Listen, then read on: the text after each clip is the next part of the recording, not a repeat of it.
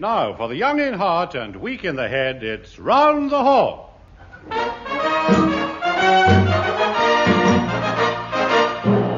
The story so far. Wizened, blue chinned Betty Marsden received a mysterious invitation scrawled on the back of a cocker spaniel, played by Hugh Paddick on all fours. As she looked at the envelope, a small tremor ran down her spine and fluttered up the chimney, clucking furiously. Who was the letter from? Was it from Romany Bill Pertwee, he of the gypsy stock with nine good ingredients? or was it perhaps. Or was it perhaps from Petite Gamin Kenneth Williams? she tore open the envelope, and there, scrawled in a rude hand across the page, was the news she dreaded to hear. This is Kenneth Horne.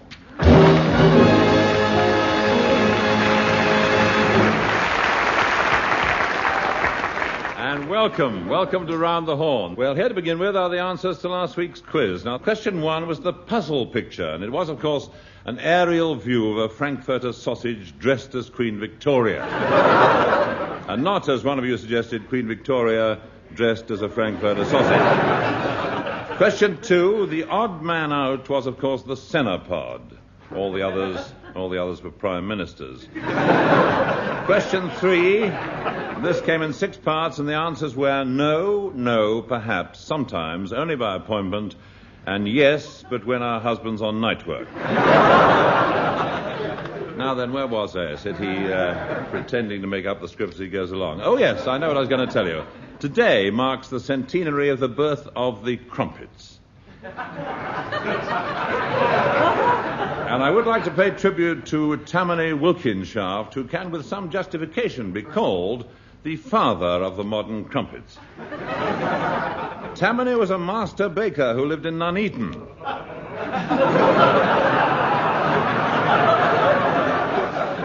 On another occasion, he invented the Garibaldi biscuit, which was named after that great Italian patriot, Luigi Biscuit.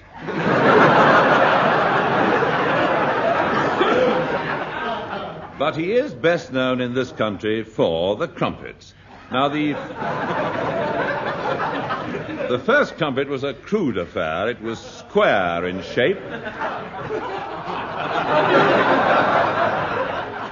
and it hadn't got any holes. So consequently, the butter ran off it. and Tammany became known in Nuneaton as the man with the greasy lap. But undeterred by the sneers of the townspeople and many parlourmaids, Tammany persisted with his crumpet until in 1880 he perfected the crumpet as we know it today. It was an immediate success, and soon he was getting orders from all over. He was asked to make triangular crumpets for the YWCA.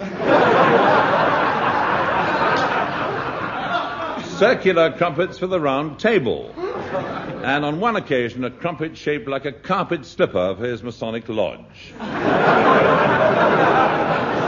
but his great moment came when he was asked by Parliament to make a giant one to celebrate Queen Victoria's Diamond Jubilee. In honor of the occasion, he built a crumpet that was 15 feet across and 6 foot high. And an added novelty, he hollowed out the center, and a Gaiety girl was secreted inside. And when the loyal toast was drunk, she leapt out wearing pink coms and waving a Union Jack. Either that or the other way around, I can't remember. I'm glad I got that off my chest, rather. now to our feature on the Backroom Boys of the BBC. Whenever listeners or viewers have complaints about programs, their problems are tackled by a small but important group of people, the Complaints Department. Well, Miss Runcible, any complaints this morning? There's an angry letter from a Mrs. Goldberg complaining about a reference in the radio newsreel to a dangerous outbreak of rabbis in the southeast. Outbreak of rabbi? Rabies!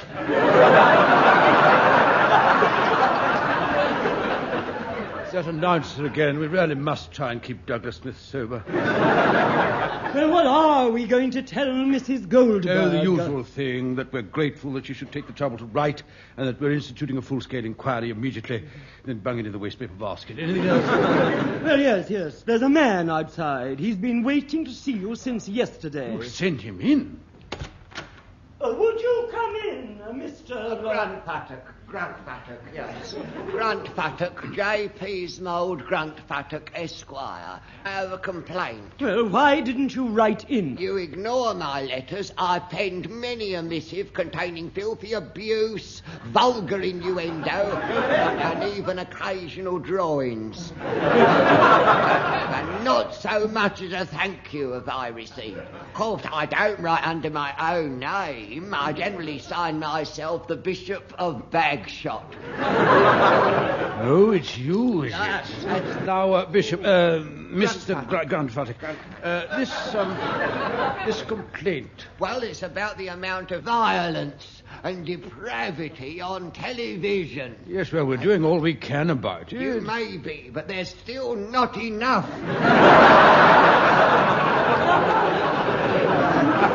When you work some more into your programs. I can't promise you anything. That's what they all say. Look at the plays you put on. Nothing ever happens. They're all the same. The young man gets this lady of his acquaintance on the couch. And there they are, holding each other close. And their lips all puckered up. And, and uh, painting and muttering. And just as you think, hello, this is it. Suddenly you're looking at a picture of the sea dashing on the rocks. I don't want to be sat there looking at the sea. I want to be back on that couch where it's all happening. Yeah. But, Mr. Grunt, if I want to look at the sea, I'm going to Bournemouth.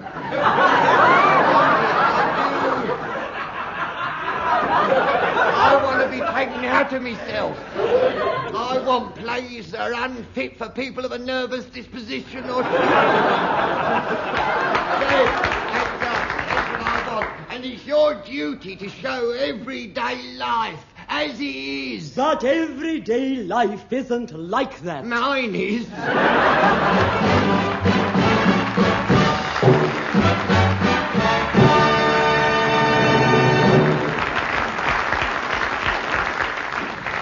it's good to know that the BBC looks after the interests of minorities. And now, um, now to our new feature. Smith, Shop. Coming, sir. And now a new feature. Awe-inspiring in its grandeur, breathtaking in its magnificence, sickening in its content. Inspector Horne's Casebook. In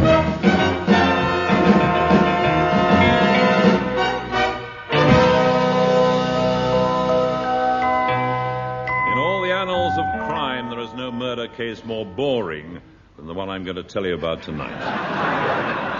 In the files of Scotland Yard, it's known as the case of the tap dancing monk. It all started on the night of September the 24th, 1923, in the bathroom at Mallory Grange. Sir Behemoth Gandhi was just climbing into the bath when.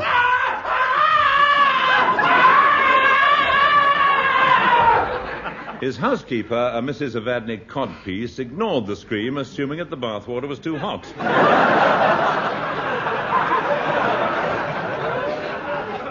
But two years later, when he still hadn't come down,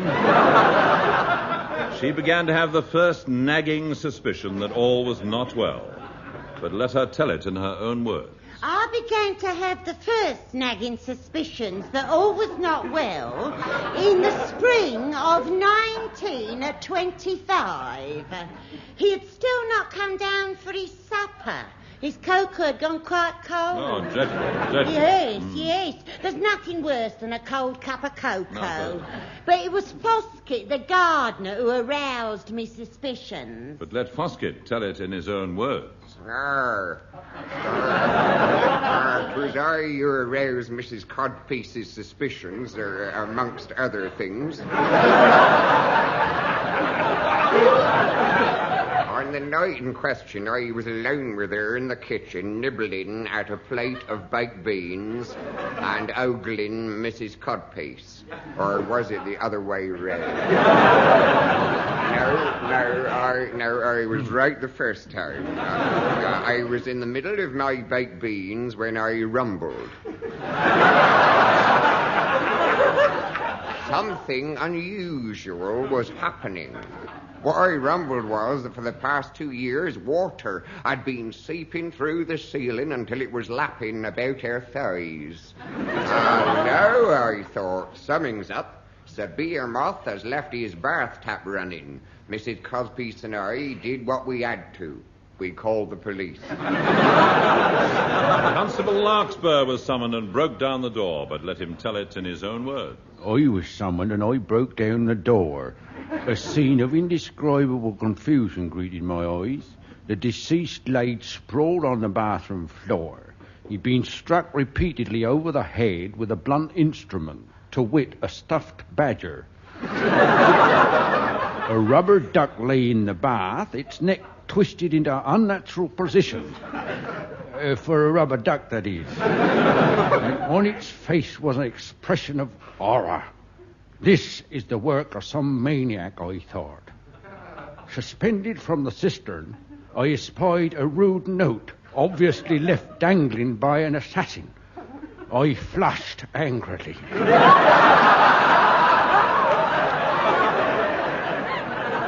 this, I told myself, was a job for Scotland Yard.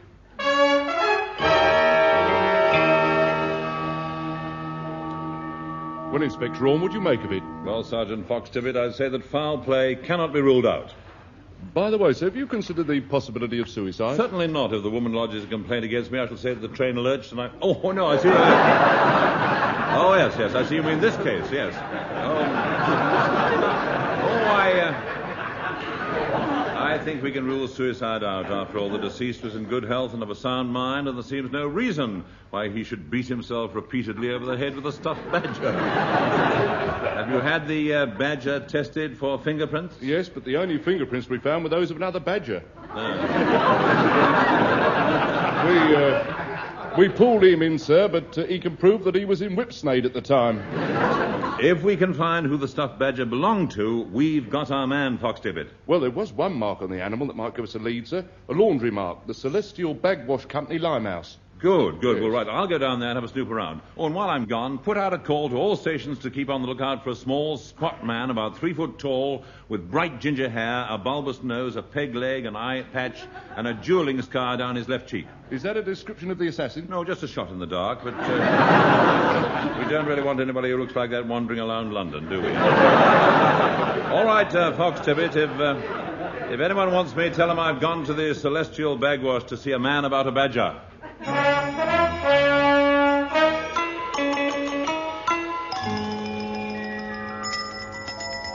anybody there? Huh? So, you wish to see me? I am the proprietor. Ah, Mr. Celestial Bagwash. I, uh, I wanted a word with you. Uh, I am Senyat's son. Well, I'm Inspector Horne of Scotland Yard. Oh, well, my life, why didn't you say so in the first place?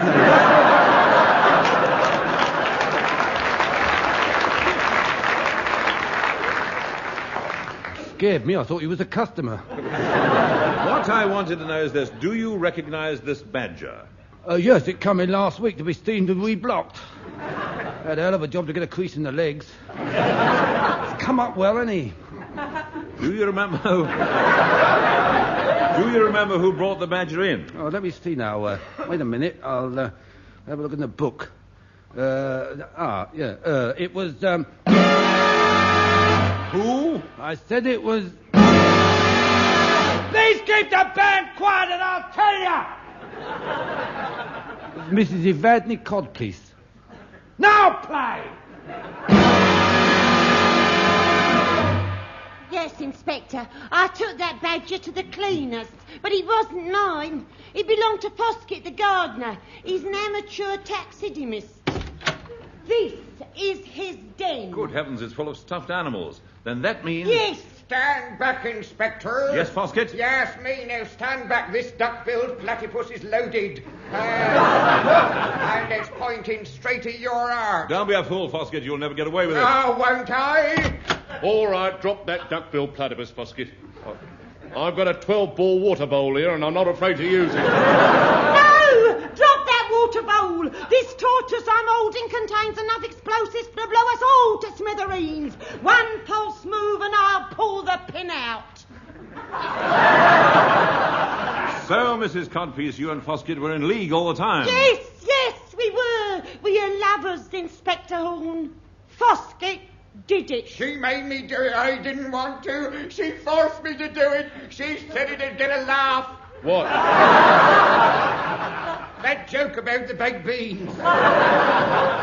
You'll never get me alive. You'll never. Oh, oh. Ah! Oh, no, Don't, Donald! don't, don't look. It's not a pretty sight. he stabbed himself to death with a stuffed armadillo.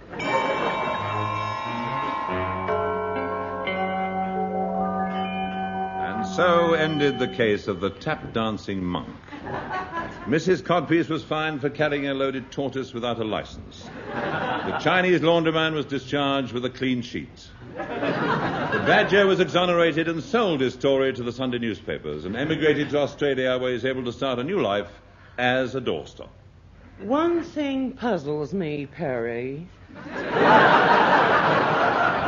Now, just tell me something. Where did the tap dancing monk come in? Well, Della, it didn't. I just threw it in to make it interesting. Uh huh.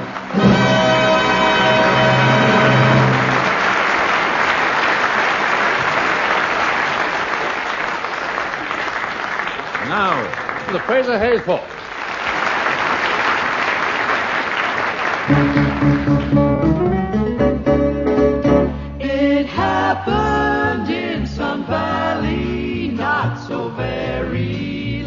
Ago. There were sunbeams in the snow. And a twinkle in your eye,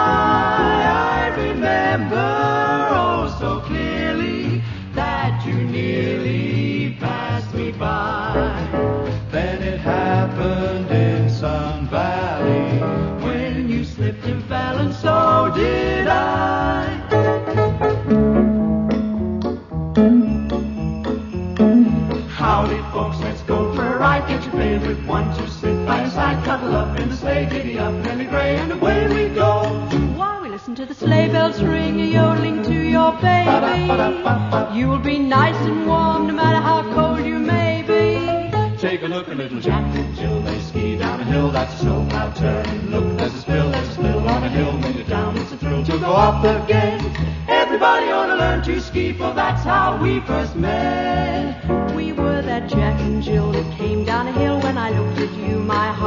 Heart took spill, on a hill. It's a thrill I can't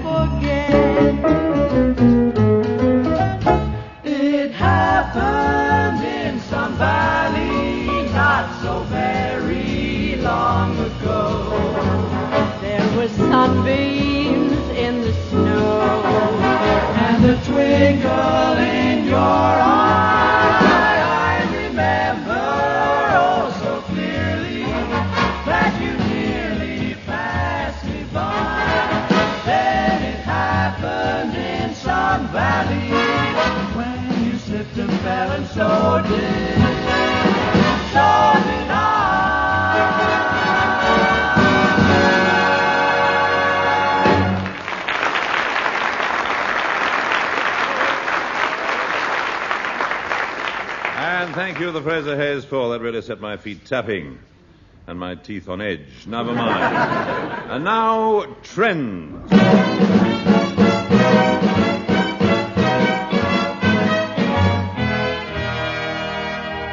Is the part of the show for the trendy, withered, way-out pace setters. This season, there's something really outrageous in trousers. Kenneth Williams.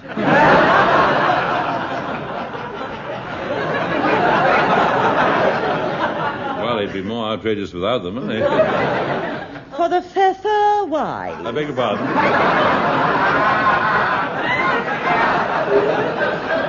Say it again, dear. Thank you. Not at all.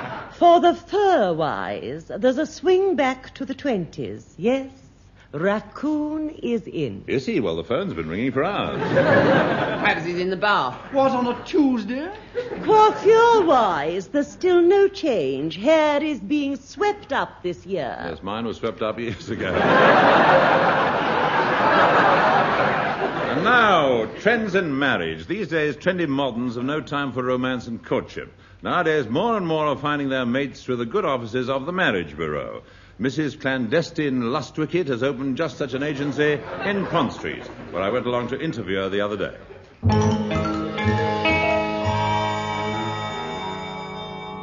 Mrs. Lustwicket, could you tell us something about the size of your operation?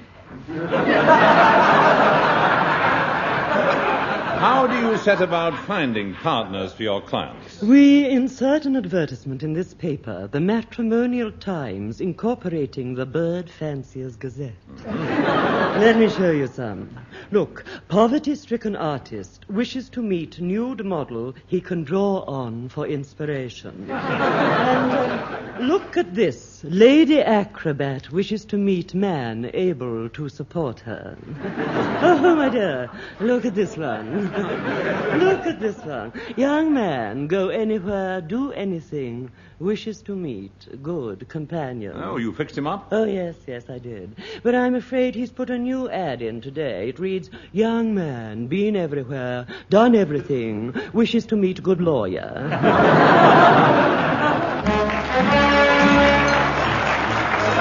Ah, well, now, trends in food. This week sees the publication of the Good Food Handbook. In the studio is the editor, Egon Poltergeist.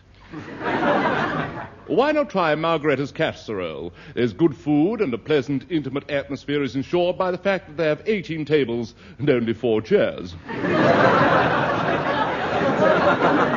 Dear chummy. Or there's uh, a traditional Welsh restaurant which has just opened where you can select from many typical Welsh dishes. If you want something that you can be sure of, just ask for the Welsh rabbit. Her name is Blodwin. A number of other restaurants I recommend are named after this speciality of the house. There's the Chicken in the Basket, specializing in chicken, the Pig in the Poke, specializing in pork. Then there's a new little bistro opened in Chelsea. It caters for a theatrical clientele mainly, and it has an atmosphere both informal and gay. It's called the Faggot and Pea. yes, yes, I know the one you mean, actually. I went there the other evening for dinner. Waiter, waiter. Come in, give us a chance. Only got the two pairs of hands, you know, just the two. Oh, hello, it's Mr. Horne, isn't it? Remember me? I'm Julian. This is my friend Sandy. Well, we're just working here, filling in between acting jobs. Oh, yeah. I saw you in a commercial on the telly last week. Oh, was it the one where this woman's all distraught about her sink and I come up the plug hole and cut her cleaning time in half with a flourish of my squeegee?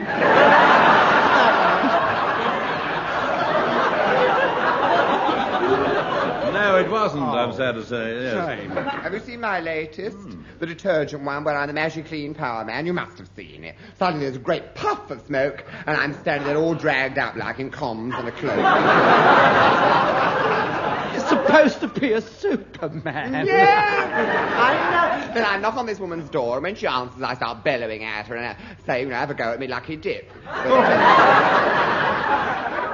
now, what would you like to eat? You, there's, there's our speciality, omelette sur les visage. There's, there's the menu, you see. You have your a la carte, your table d'hôte. Ah, yes, see now. Let's see. How's your bouillabaisse? Oh, it's naff. You don't want that. Well, what would you recommend? Well, I'll read you off the menu. How about this? From the depths of boundless deep, intrepid fishermen bring you succulent morsels of tempting seafood, fried to a deep golden brown, guaranteed to titillate your palate with its sea fry goodness. Yes, sounds intriguing. What is it? Lump of cod. And it's served with the proud progeny of King Potato, a crispy delight. It's just a lot of camp chat for chips. Fish and chips. That sounds uh, absolutely um, boner. yes, I think I'll have that. Oh, and with it, bring me a bottle of that rich yield of Mother Nature, culled from the verdant fields of faraway Tuscany, and processed by the loving hands of top European scientists, that not one nuance of its flavor shall be allowed to escape. What are you on about? Bottle of tomato sauce. No. Very. Would you care for wine? What do you got? Well, you've got to be a Chateau Neuf de Pape. That's your Pope's Newcastle.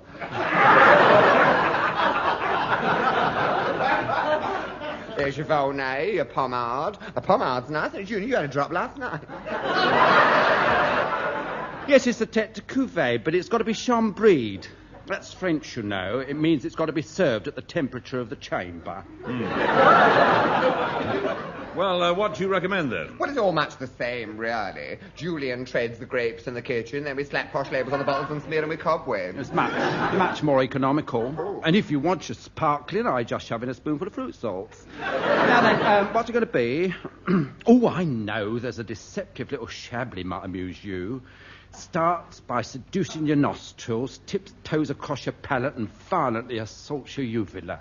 Does it well, I think I'll just have an insolent little brown ale that swaggers down my throat and lies on its back in my stomach, making rude noises. Well, please yourself. There's one cod and chips and a bottle of brown ale. And what would you have to follow? At a shrewd guess, I'd say ptomaine poisoning.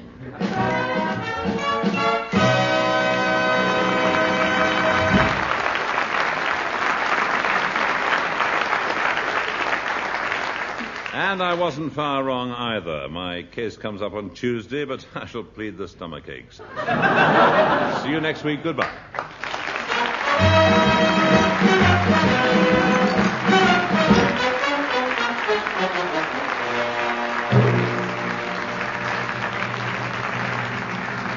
That was Round the Horne, starring Kenneth Horne, with Kenneth Williams, Hugh Paddick, Betty Marsden, and Bill Pertwee.